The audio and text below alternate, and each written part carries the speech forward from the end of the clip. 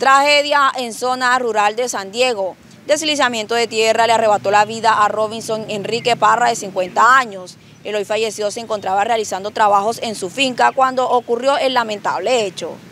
El hombre de 53 años, según la información que le entregó un allegado a la Policía Nacional, alrededor de las 5 de la tarde de este martes se encontraba realizando unos trabajos en la finca de su propiedad, cuando le cayó encima un alud de tierra y de inmediato otros trabajadores trataron de auxiliarlo. Tras excavar varios minutos, Robinson Enrique Parra ya se encontraba sin vida. Sin embargo, en una motocicleta lo trasladaron hasta el Hospital El Socorro de San Diego, en donde el personal del CTI de la Fiscalía realizaron las labores forenses. El cadáver fue trasladado hasta las instalaciones de Medicina Legal y Ciencias Forenses de Valledupar para la necrosia de rigor.